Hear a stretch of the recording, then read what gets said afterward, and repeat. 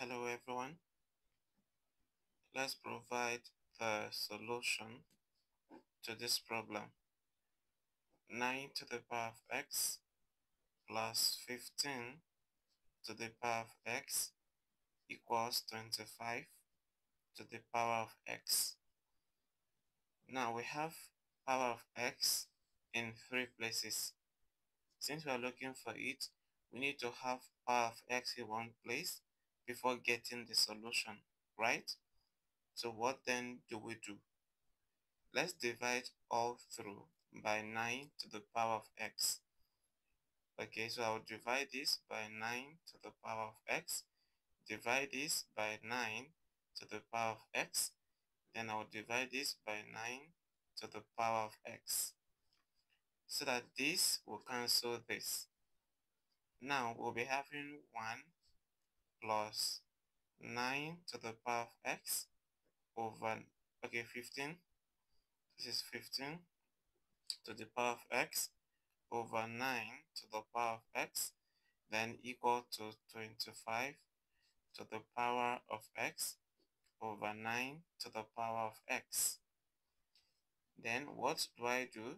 Since these two are having power of x, I can combine them. So I have 1 plus, we have um, 15 over 9, both of them to the power of x. Then this is equal to 25. I'll do the same. 25 over 9 to the power of x.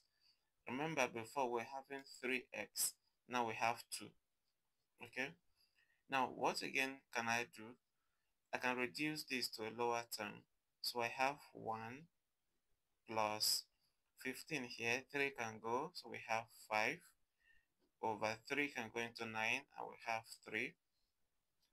So these two will be raised to the power of x and it's equal to, now I cannot reduce this, 3 cannot go into 25 and 9 cannot go as well. But then I can decide to write 25 as 5 squared, then 9 as 3 squared. Okay, so the power x outside is still there. Then from here, what can I do? I will still pick, you know, I, will combine 5 and 3 and raise both of them to the power of 2. So this will now be 1 plus 5 over 3 to the power of x equal to 5 over 3 to the power of 2 but then there's an there's another power of x. So we're having two powers now and we can multiply the two powers. Or better still change the position. So i'm going to have 1 plus 5 over 3 to the power of x equal to 5 over 3 to the power of 2 okay i want to write x now then to the power of 2. So this means that I have squared over there. So we are now saying that we are having 5 over 3 to the power of x in two places. And I will say, let y represent, let y be equal to 5 over 3 to the power of x. So in that case, here now I'll be having y and here we have y squared. So we have 1 plus y equals um, y squared because 5 over 3 to the power of x is y. So we have y squared on the right. So we are having a quadratic equation. Let us arrange this in a better way. So y squared should come first. Then we have minus y, then minus 1 equals 0. So the question is how do we solve this problem? Okay, so we're, we're going to solve this problem by using the formula method. Okay, so the formula will be y equals minus b plus or minus square root of b squared minus 4ac. So the whole of this will be over 2 times a. Now our a is going to be 1, that is the coefficient of y squared. Our b is minus 1, that is the coefficient of y. Then our c is minus 1 as well, that is the constant. Now let's put this into the formula so that we'll be having y to be equal to, in place of minus b, we'll be having 1 because both of them are having negative and they will counter each other. Then plus or minus square root of b squared, that will be minus 1 to the power of 2. Then um, minus, we have 4 multiply by 1 because a is 1 and c is minus 1. So the whole of this will be over 2 times 1. Now y here is equal to 1 plus or minus. We have minus 1 squared is 1. Then minus 4 times 1 times minus 1. That will give us plus 4. So the whole of this will be over 2.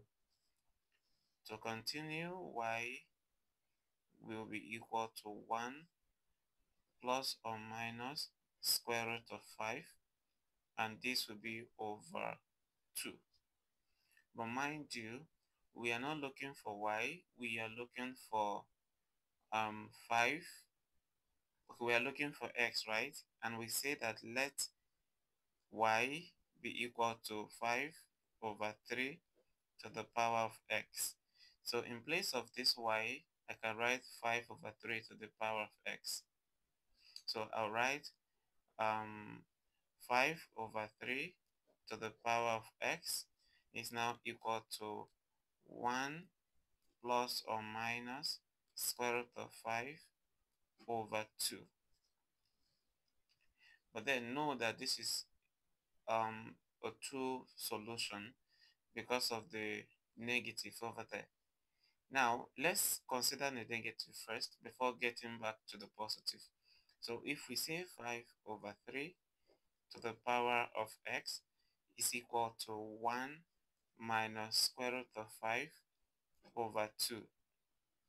Now, looking at this, you discover that this side will give negative because 1 minus square root of 5 will give us a negative value.